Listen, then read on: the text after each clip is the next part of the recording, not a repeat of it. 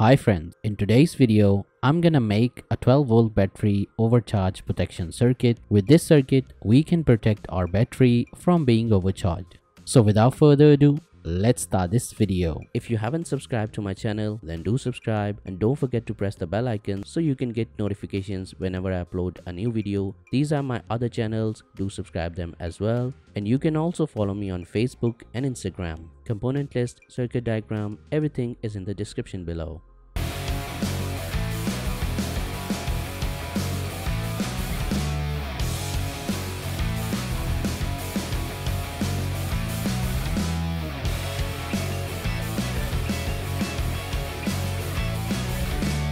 These are all the components we're gonna need for this project.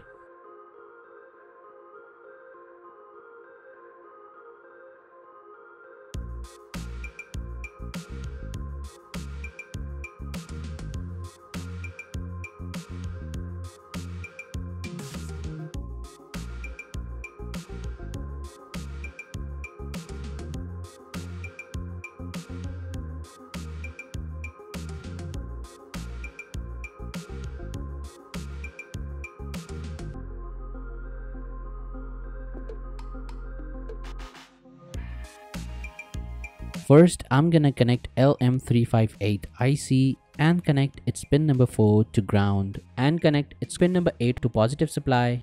After that, I'm gonna connect a 2 pin terminal block and connect its 1 pin to positive supply and its other pin to ground.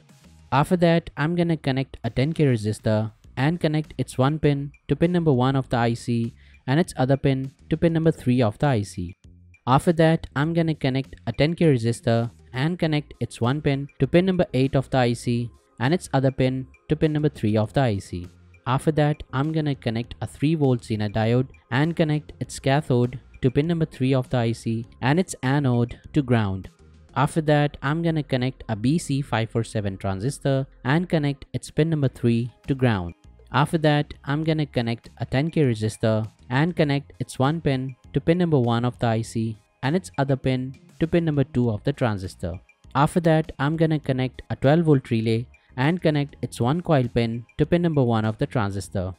After that, I'm gonna connect a 1N4148 diode and connect its anode to pin number 1 of the transistor and its cathode to remaining coil pin of transistor. After that, I'm gonna connect a 2 pin terminal block and connect its 1 pin to cathode of diode and its other pin to ground. After that, I'm gonna connect a 10k trim pot and connect its center pin to pin number 2 of the IC and its one side pin to ground. After that, I'm gonna connect a 10k resistor and connect its one side pin to remaining pin of 10k trim pot and its other pin to cathode of diode. After that, I'm gonna connect 6A10 diode and connect its anode to positive supply and its cathode to common terminal of relay. After that, I'm gonna connect a red LED and connect its cathode to pin number 1 of transistor.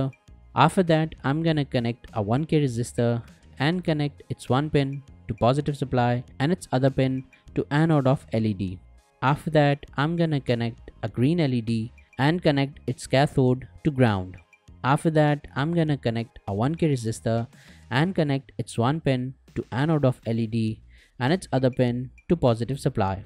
After that, I'm gonna connect a 1N4148 diode and connect its cathode to pin number 1 of the transistor and its anode to anode of green LED. So we have completed all the connections. Now let's test the project.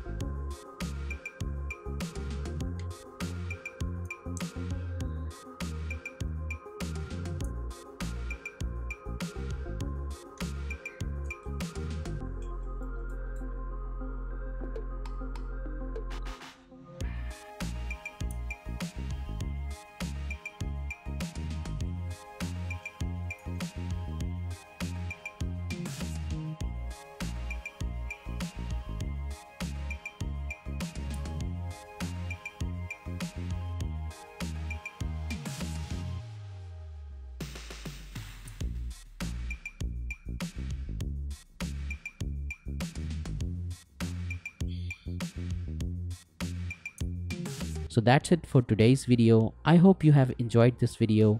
For more videos like that, stay tuned and I will see you in the next video.